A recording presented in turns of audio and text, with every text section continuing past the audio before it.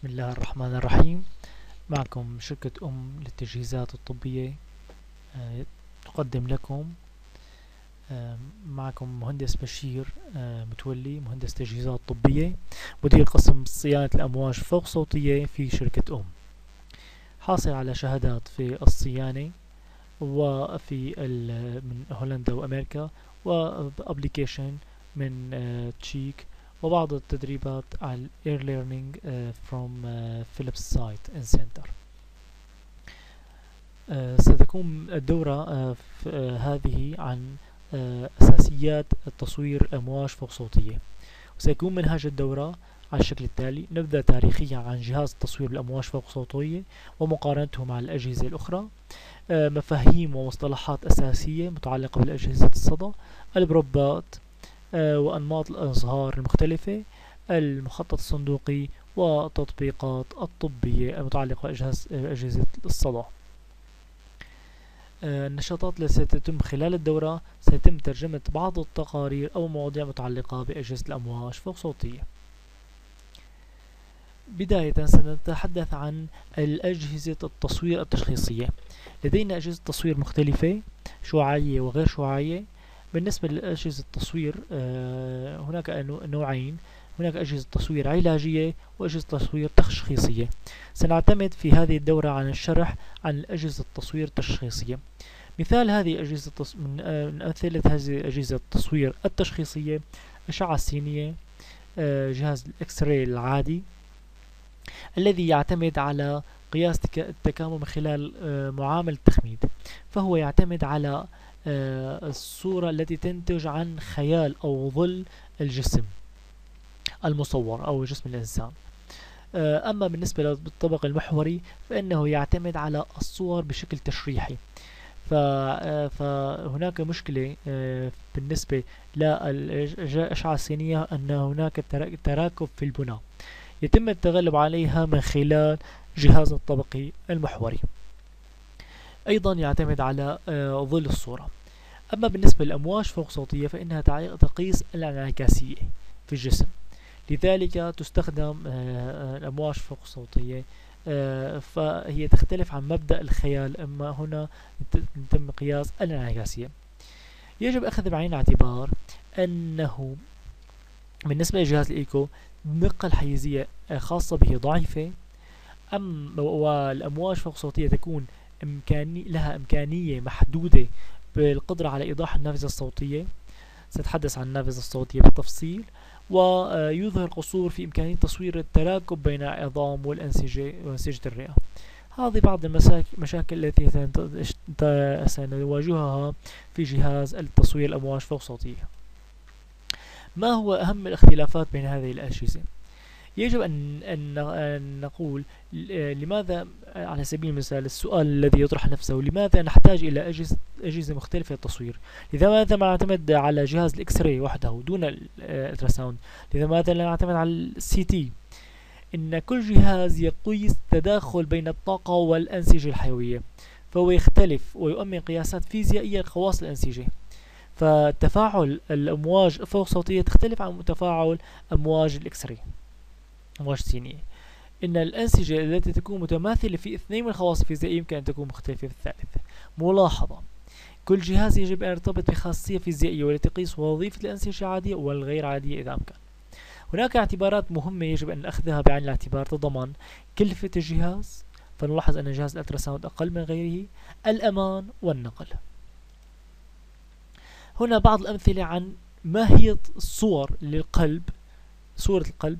لعدة أجهزة. فهنا ال X-ray هنا الطبقي هنا ال PET هنا ال MRI هنا ال echo ال ultrasound وهنا SPECT هذه صور كل واحدة تعطي وظيفة أو معلومات تختلف عن الأخرى لذلك نستخدم أجهزة مختلفة. هناك آه، أمور يجب أخذها بعين الاعتبار عند مقارنة بين الأجهزة المختلفة.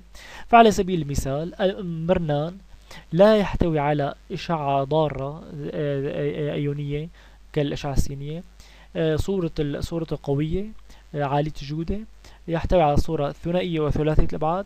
لا يمكن أخذ الصورة بالزمن الحقيقي. لا يوجد منه آر آي نقال تكلفة الصورة عالية وتكلفة الجهاز عالية أيضا.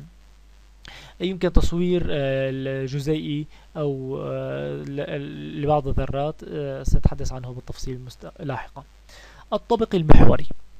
الطابق المحوري يمتلك أشعة متأينة أو أشعة ضارة له صورة بدقة عالية. يمكن تصوير ثنائي أبعاد وثلاثي أبعاد لا يمكن تصوير بالزمن, بالزمن الحقيقي. لا يوجد منه نقال. ولكن الآن بدأ التفكير بتصنيع طبقيات آه، نقالة. آه، الكوست تبعه عالي آه، ويمكن تصوير المول بعض الجزيئات من خلال البيت سيتي. جهاز لتصوير الأمواج الفوق صوتية أو الإيكو. لا يملك أي إشعاع ضارة أيونية صورته مقبولة إلى يعني وسط إلى جيدة. يمكن تصوير ثنائي بعد ثلاثي بعد يحتوي على تصوير بالزمن الحقيقي يمكن نقله أينما كان تكلفته منخفضة ويمكن تصوير الجزيئات من خلال المواد الظليلة أو ال bubbles اللي بيسموه contrast media لدينا جهاز ال X-ray يوجد أشعة آه، تأيونية دقته عالية. لا يمكن تصوير ثلاثي ابعاد فقط ثنائي ابعاد real time بالزمن الحقيقي لا يوجد منه نقال والآن يوجد بعض الأجهزة النقالة cost وسط ولا يمكن تصوير آه، الجزيئات. البيت نيكولار آه، في آه، في إشعة تأيونية. لو جودة الصورة ضعيفة تصوير ثنائي البعد لا يوجد الزمن الحقيقي لا يمكن نقله وتكلفته متوسط لعالي يوجد تصوير جزيئي. نلاحظ هنا بعض الأمثلة عن أسعار الأجهزة وصورها وأجل تكلفتها آه، سنتحدث عن نبذة تاريخية عن جهاز الصدى القلبي. آه، سنشاهد الآن فيلم يشرح لنا كيف بدأوا بالتفكير بجهاز التصوير الأمواج فوق صوتية ملاحظة أن جهاز تصوير آه، أمواج فوق صوتية يدعى في بعض الأحيان سونار وهو مقتبس من جهاز سونار الذي يقيس المسافات تحت الماء لتحديد آه، مواقع الغواصات حيث أول ما بدأ التصوير أول ما بدأت الفكرة في فكرة الغواصات حيث قام بعض السفن بوجود بامتلاك جهاز سونار الذي يرسل أمواج آه، آه، تصطدم بأي شيء معدني تحتها ثم تعود لتحدد موقع هذا الشيء المعدني الذي قد يكون غواصات أو ما أو مواد معدنية أو بعض السفن الغارقة تختلف. لم يتوقع أحد أن يستخدم هذه التقنية كأداة تشخيصية ومعالجة في جسم الإنسان ولكن تم نقل هذه التقنية إلى جهاز الصدى أو جهاز الإيكو الذي يعتمد هذا الجهاز على الأمواج المرتدة عن جسم عن جسم الإنسان. إن هذه الأمواج ترتد على حواجز فاصلة بين الأنسجة المختلفة مثل الماء والدهن والدهن والعضلات. سنشاهد هذا الفيلم الآن. نستمع له.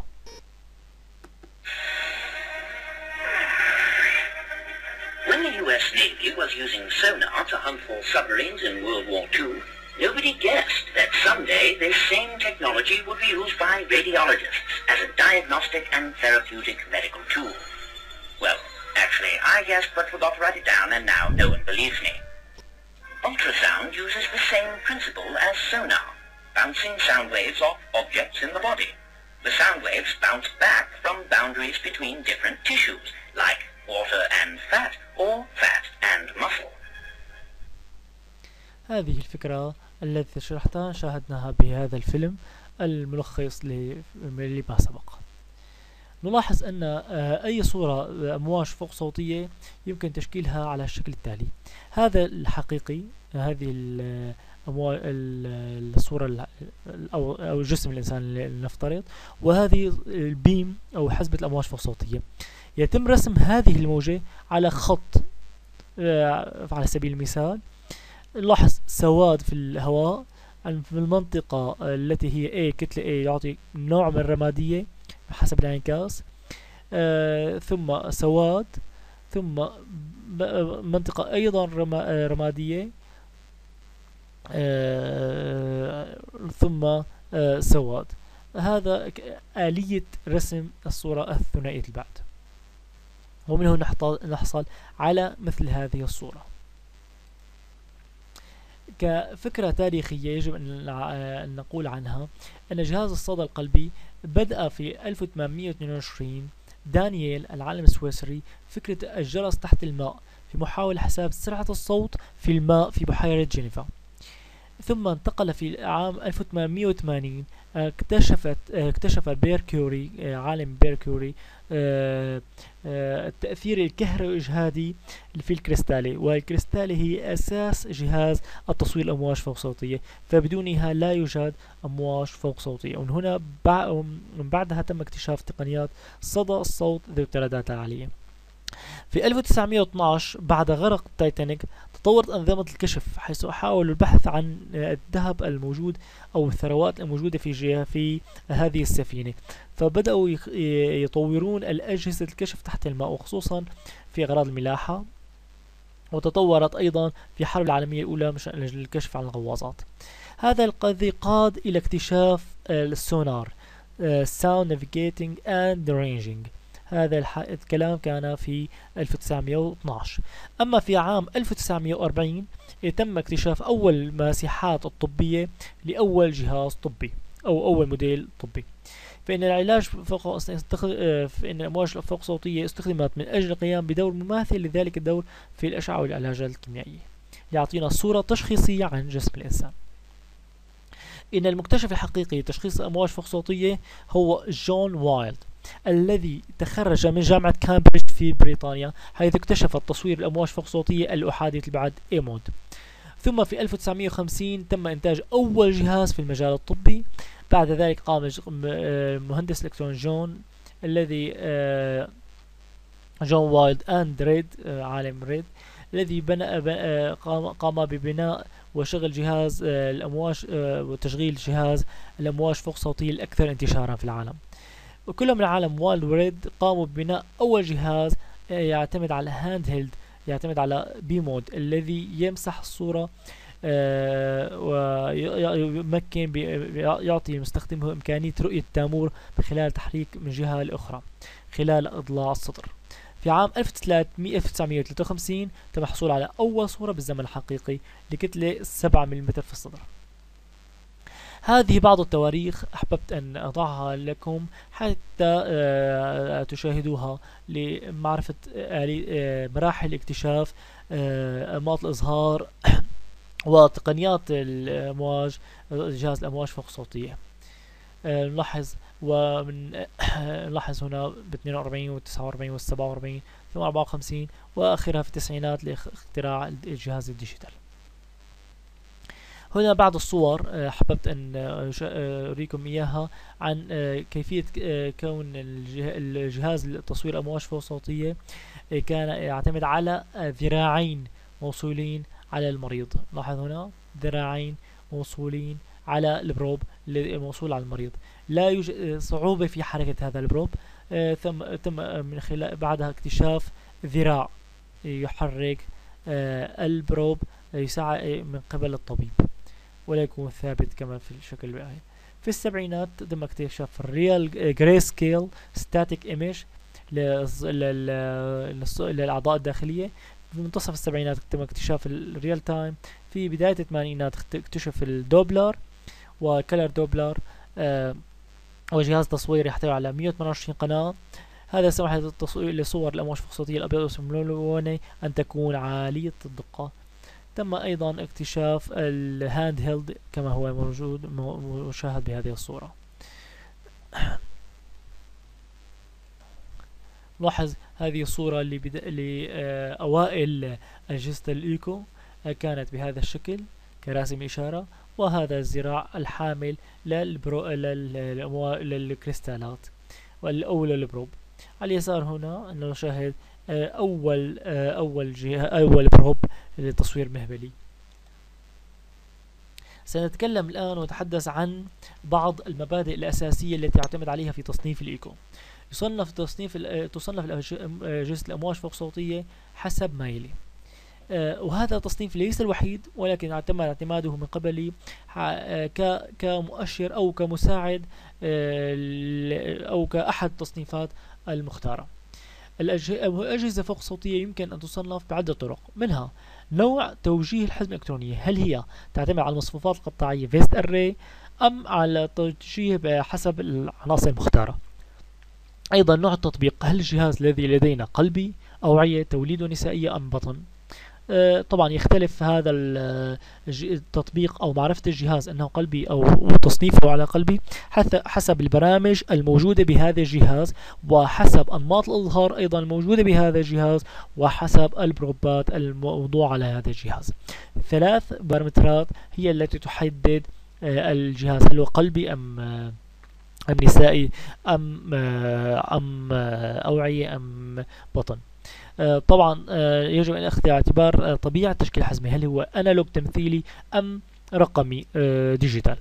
هناك أجهزة تمثيل analog هناك أجهزة semi digital يعني أو هجينة hybrid يسموها بين تمثيلي ورقمي وهناك أجهزة رقمية full digital قابلية النقل هل يمكن نقل الجهاز أم آه، أم آه، يكون محمول باليد أم يجي أم هناك عربة ضمن هذا الجهاز. هناك مزايا أساسية يجب أن نذكرها للأمواج الصوتية. أنه لا يح... آه، لا, يحت... لا يوجد به radiation أو أشعة أشعاع أيوني.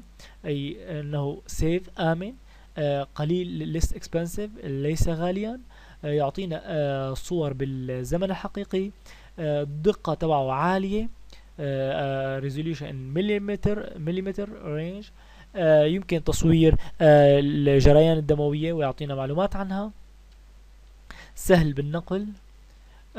من مساوئه إذا كان العضو يحتوي على غاز أو أو بنى عظمية فإن الصورة تكون جدا صعبة أو ضعيفة آه، فلا يمكن أن نحصل على صورة جيدة. آه، آه، من مساوي أيضا أنه limited window النوافذ محدودة لتصوير على سبيل المثال القلب. يعتمد جدا على مهارة المستخدم. أيضا من الصعب أن نحصل على صورة جيدة أو قوية في حال المرضى البدينين. هذه المساوئ أهم المساوئ الموجودة في جهاز الأمواج فوق صوتية. آه، هنا انتهت الجزء الأول من المحاضرة. آه، الذي يرغب يمكن أن يذهب إلى الإنترنت ويبحث عن هذه الأسئلة التي قد تساعده. ما هي المزايا فوق مواج فوق صوتية عن باقي الأجهزة الطبية؟ يمكن البحث عنها وما هي مساوئها. ذكرت بعض المزايا وبعض المساوئ يمكن البحث عن باقي المساوئ والمحاسن أيضا ما هي المبادئ التي يعتمد عليها تصنيف الأمواج فوق صوتية؟ ذكرت كم آه، أربع بنود. هناك بنود أخرى آه، يمكن أن بالذهاب إلى الإنترنت والاطلاع للحصول على آه، معلومات أكثر. وشكرا لإنصاتكم.